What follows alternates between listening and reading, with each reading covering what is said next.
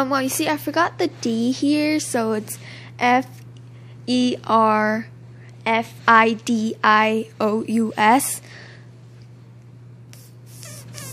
Perfidious. I forgot the D. So, yeah, perfidious. Perfidious means um, unreliable and untrustworthy.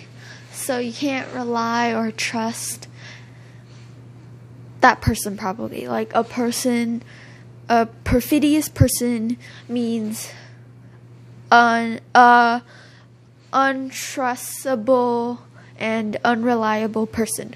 And an example is you this okay so the scenario is probably gossiping about this other girl and i'm like you can't trust that girl she always lies and then like this other person and then i'm like oh and then i'm like yeah she's a very perfidious person she lies a lot oh thanks for letting me know i will not trust her yeah